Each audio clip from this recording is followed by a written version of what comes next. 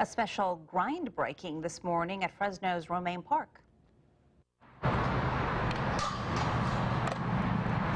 Valley skaters will soon have a new place to practice their craft. After months of planning and input from community members and about 250 young people, a new skate park will open at Romain, Romain Park in central Fresno.